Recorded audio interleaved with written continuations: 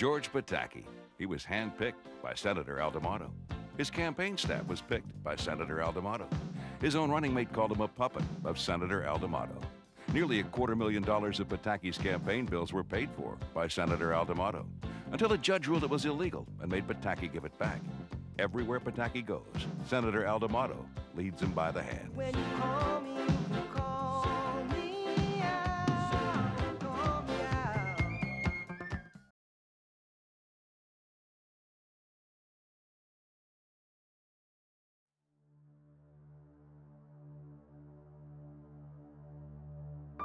People said you should run for president. I said, that's terrific. Now I know what's going to happen. I'm going to have to say no to people. We're going to have to cut payrolls. We're going to have to give them less in education than they want, health care, the whole works. I know what's coming. I've been around long enough to know that. But if I bail out now, why did I get in in the first place? This guy can sell ice cubes in Alaska in February. He can convince you that dark is light and night is day. His speeches are wonderful. His rhetoric is elevating. But his record is a catastrophe.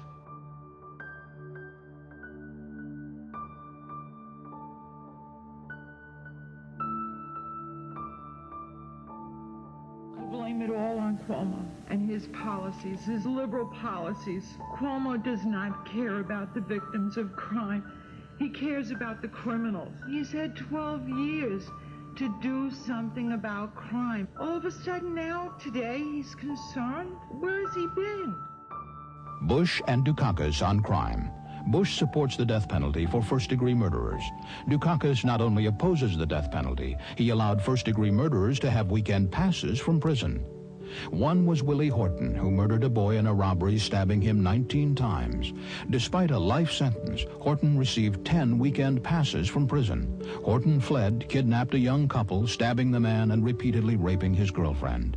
Weekend prison passes. Dukakis on crime.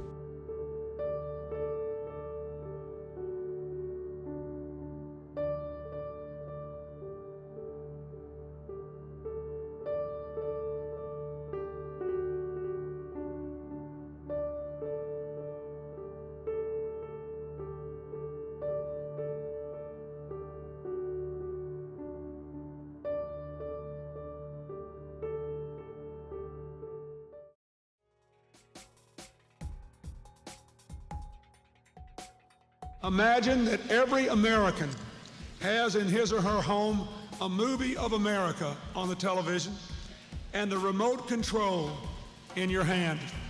And you get to push the button. You can push forward. You can even push fast forward if you want to. Or you can push reverse. No, forward.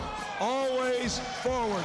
That's what this country has done. Many Democratic politicians seeking office around the nation have shunned President Clinton, whose high negatives are viewed as more of a hindrance than a help in some locales. But here in New York, Governor Cuomo needs Clinton to help appeal to Cuomo's core supporters and re energize Democrats who were excited in 1992 when the first Democrat in 12 years was elected to the White House. Do you believe in your ability to open your arms to everybody, every child, no matter what color, no matter what sex, no matter what condition? We believe that. We have always believed it in New York State. We have been the bastion of progressivism and civility. We're the place, New York State, that opened its arms to the world. This is where they came first. This election is shaping up to be one of those classic American elections that gets replayed every so often in our history. A race between hope and fear, a race between tomorrow and yesterday, a race between people who appeal to what is best in us and those who tell us that everything is just terrible and we ought to lash out. A race between those of us who challenge the American people to do better, who try to empower them to make the most of their own lives, and those who offer them cheap and easy promises of a time which never was and never will be. The relationship between Cuomo and Clinton has been far from congenial in the past. Cuomo was never fond of Clinton's middle of the road Democratic Leadership Council, and the governor was extremely displeased when a phone conversation recorded by Gennifer Flowers caught Clinton saying that Cuomo acted like he was in the mafia. Cuomo, who almost ran for president himself, endorsed no one in the New York primary. At the rally, Cuomo reminded supporters that it was the pivotal New York race in 1992 that set Clinton on the course for the White House. And do you remember where he was selected? In whose state he was selected? It was right here in New York State. The two Democrats need each other more than ever in 1994. Cuomo wants to win his toughest race in a dozen years.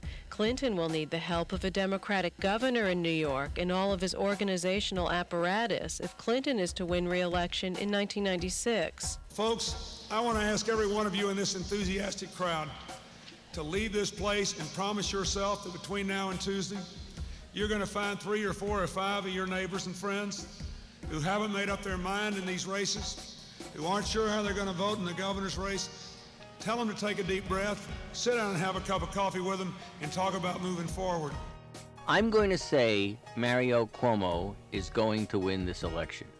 But I am going to say he is going to win it by uh, a piece of uh, cellophane. That's what I think. I think it is going to be an extremely close election.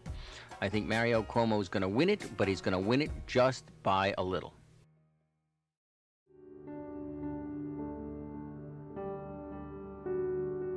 One thing that you and I have talked about Mm. off mic um, several times over the point of this campaign. You're going to tell? No, well, yeah, I am going to tell. But the question is, do you really think Mario Cuomo wanted to be governor again?